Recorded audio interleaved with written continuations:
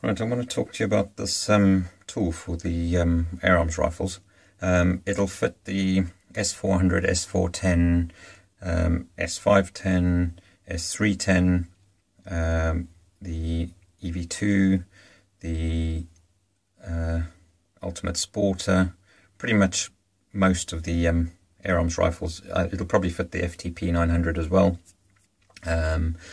It's made out of aluminium, um, which is nice because it is there's less chance of it damaging the finish on your rifle. Um, it's got high tensile bolts, which, um, as the name implies, are high tensile. Um, and I put brass washers in, which I know are overkill, but it's just a bit less friction for when you're tightening up the bolts. Um, it's been made very close to the size of the cylinder to make sure that it's a nice, decent fit. And um, that you know it works as best as it can. Um, because of that, you may find that on some rifles the um, the ends are slightly bigger than the cylinder. Um, the way around that is get a flat screwdriver and just whack it into the uh, obviously loosen these up a bit uh, and then whack a screwdriver in. You'll notice that it opens up a bit more um, and then you should be able to then slide it on. Just take it easy take your time. It can be tight, but should go on.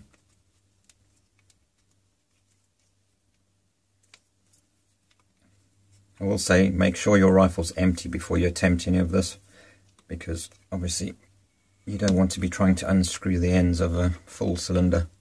It's dangerous and it would be almost impossible because the um, pressure would lock the threads. Right, there we go. Pull the screwdriver out.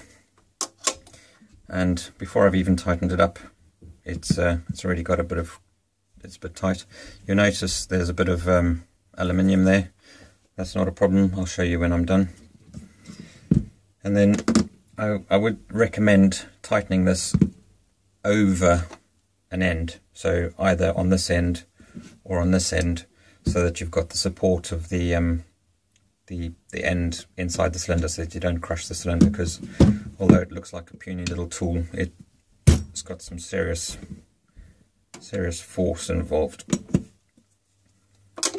And, and tighten these up. It's a 5 millimeter allen key.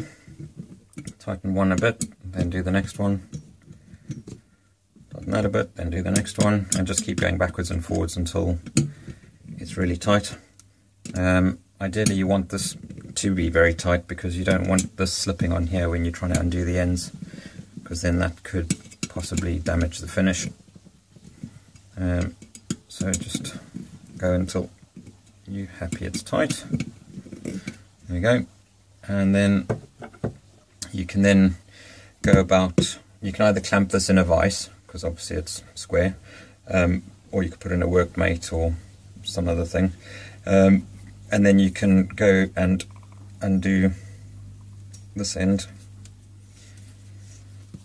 Um, and the same can be done the other way. You could um, put this on here and then use um, the other tool that I sell for the air arms um, that'll fit into here to undo this end while you're holding this end in a, in a vise or, or something else. Um, obviously don't try and undo this end while this is here. You want it to be on the other end because if this is here it's obviously squeezing the threads. You'll probably never get it undone and you'll probably damage something. So um, obviously put this the opposite end to the end you want to work on. Um, you could also use this clamped in something as it is now. If you wanted to service the um, the fill valve because then you can while it's clamped you can then get that loose and tightened up.